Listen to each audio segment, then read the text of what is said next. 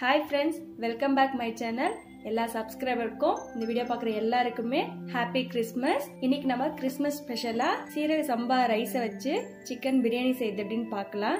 இதில் நான் யூஸ் பண்ணிக்கிற பிரியாணி மசாலா வீட்டிலே ரெடி பண்ணுது. இந்த மசாலாவை கூடி சீக்கிரம் நான் போஸ்ட் பண்ணுறேன் வாங்க ஃப்ரெண்ட்ஸ் பிரியாணி செய்யுது எப்படின்னு பார்க்கலாம். நம்மளோட சேனலை ஃபர்ஸ்ட் டைமாக பார்க்குறீங்கன்னா கீழே இருக்க சப்ஸ்கிரைப் பட்டனை கிளிக் பண்ணிட்டு பக்கத்தில் இருக்க பெல் ஐக்கானையும் கிளிக் பண்ணி வச்சுக்கோங்க.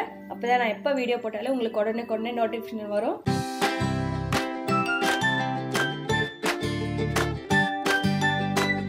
பிரியாணி செய்யறதுக்கு முன்னாடி ஃபர்ஸ்ட் நம்ம சிக்கனை மேக்னேட் பண்ணிக்கலாம். சிக்கனை மேக்னேட் பண்ணுறதுக்கு ஒரு ஸ்பூன் மிளகாய்த்தூள் அரை ஸ்பூன் மஞ்சத்தூள் கஸ்தூரி மேத்தி கொஞ்சமாக சேர்த்துக்கலாம். அதனோட நம்ம வீட்டில் ரெடி பண்ண பிரியாணி மசாலா ஒரு ஸ்பூன் சேர்த்துக்கலாம். தயிர் ஒரு நூறு கிராம் அளவுக்கு சேர்த்துக்கலாம். எல்லாம் சேர்த்து உப்பு கொஞ்சம் சேர்த்துட்டு மிக்ஸ் பண்ணி ஒரு ஆஃப் அன் ஹவர் போல் ஊற வச்சு எடுத்துக்குங்க. அடுத்தது சீரக சம்பா ரைஸ் ஒரு ஆஃப் அன் ஹவர் ஊற வச்சு எடுத்துக்கோங்க. நான் சிக்கனும் மேக்னேட் பண்ணி வச்சிருக்கேன். ரைஸும் ஊற வச்சிட்டு இருக்கேன் இப்போ நம்ம தாளிக்கலாம். பிரியாணி தாளிக்கிறதுக்கு தேவையான பொருட்கள் என்னன்னு பார்க்கலாம். ஜாவத்திரி ஒரு சின்ன பீஸ் ரெண்டு ஏலக்காய் கிராம்பு நாலு ஸ்டார் வந்து ரெண்டு அரை ஸ்பூன் கஸ்தூரி மேத்தி கல்பாசி ஒரு சின்ன பீஸு ஒரு இன்ச் அளவுக்கு பட்டை எடுத்து சின்ன சின்னதாக உடச்சி வச்சிருக்கேன் ரெண்டு பிரியாணி இலை. இந்த சீரக சம்பா ரைஸுக்கு நான் வீட்டிலே ரெடி பண்ண பிரியாணி மசாலா சேர்த்துருக்கேன். இது ரொம்பவே டேஸ்ட் நல்லா இருக்கும். இது பிரியாணிக்கு மட்டும் இல்லை எல்லா நான்வெஜ் ரெசிபிக்கும் சேர்த்துக்கலாம். கரம் மசாலாக்கு பதிலாக இந்த பிரியாணி மசாலா சேர்த்து செஞ்சோம்னா ரொம்ப நல்லா இருக்கும் டேஸ்ட்டு. பிரியாணி செய்ய நெய்யும் எண்ணெயும் சேர்த்துக்கலாம். எண்ணெய் காஞ்ச உடனே நம்ம எடுத்து வச்சுக்கிற எல்லா மசாலாவும் சேர்த்துக்கலாம்.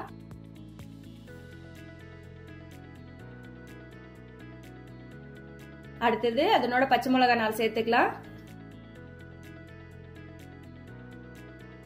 பச்சை மிளகாய் எண்ணெயில் வதங்கினோடனே ரெண்டு மீடியம் சைஸ் வெங்காயம் கட் பண்ணி வச்சிருக்கேன். நீல வாக்கில் அது சேர்த்துப்போம்.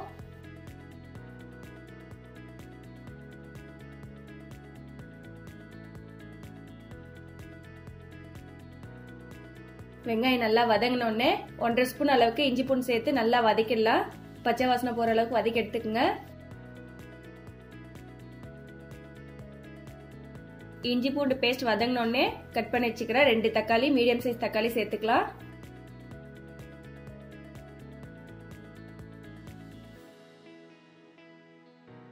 தக்காளி சீக்கிரம் வதங்கிறதுக்காக உப்பு சேர்த்து மிக்ஸ் பண்ணிக்கலாம்.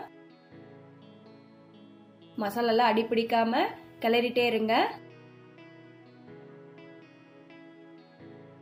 தக்காளி நல்லாவே வதங்கிடுச்சு.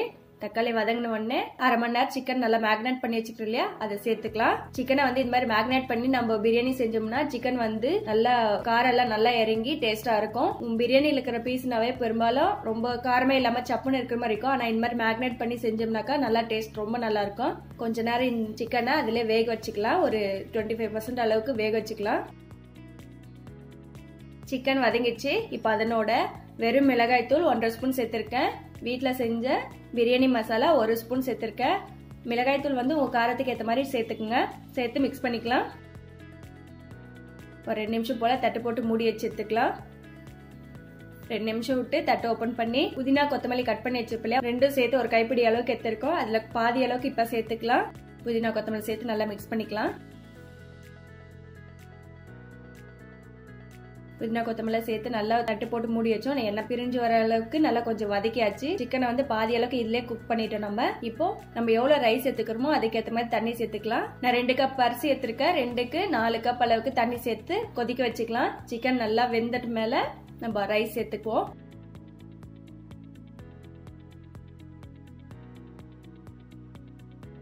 ஊற வச்ச அரிசியை நல்லா கழுவி எடுத்துட்டு வந்தாச்சு. சிக்கன் மூடி வச்சு ஒரு பத்து நிமிஷம் போல நல்லா கொதிச்சுட்டு இருக்கு சிக்கன் வந்து ஒரு செவன்டி ஃபைவ் பர்சன்ட் அளவுக்கு நல்லா குக் ஆயிடுச்சு.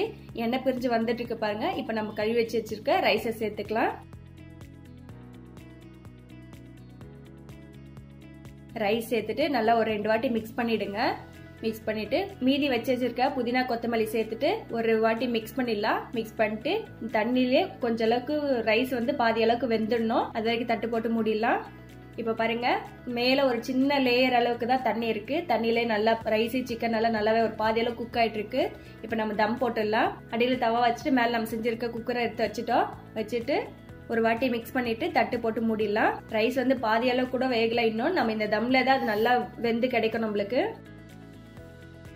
குக்கர் வச்சுட்டோம். குக்கர் மேல தட்டு போட்டு மூடிட்டு உருளைக்கல் இருக்கு சின்னது நான் அதை வச்சுக்கிறேன். உங்ககிட்ட அது இல்லைனாக்கா ஒரு பாத்திரத்துல தண்ணி பிடிச்சி மேல வச்சிடுங்க வெயிட்டா ரைஸ் வந்து நல்லாவே வெந்துடுச்சு எனக்கு. அதனால நான் எடுத்துட்டேன். பாருங்க ஓபன் பண்ணி பார்த்துட்டு ரைஸ் வெந்துட்டு இருந்தா எடுத்துங்க இப்ப பார்க்கறதுக்கு கொஞ்சம் தண்ணியா இருக்கிற மாதிரி தான் இருக்கும். ஆனா ஆறிட்டு மேல ரைஸ் வந்து நல்லா விடி விடியா நல்லா இருக்கும்.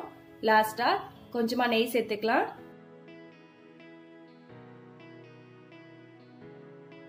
நெய் சேர்த்துட்டு ஒரு வாட்டி கலந்து கொடுத்துருங்க. கலந்து கொடுத்துட்டு சர்வ் பண்ண வேண்டிதான் ரொம்பவே நல்லா டேஸ்டான சீரக சம்பா ரைஸில் பிரியாணி ரெடி ஆயிடுச்சு. நீங்களும் இதே போல் வீட்டில் செஞ்சு பாருங்க. செஞ்சு பார்த்துட்டு எப்படி வந்ததுன்னு கமெண்ட் பண்ணுங்க.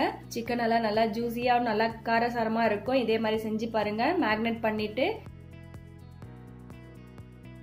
அவ்வளோதான் ஃப்ரெண்ட்ஸ் ரொம்ப ஈஸியான ஒரு மெத்தடில் சீரக சம்பா ரைஸை வச்சு சிக்கன் பிரியாணி செய்யுது அப்படின்னு பார்த்துட்டோம்.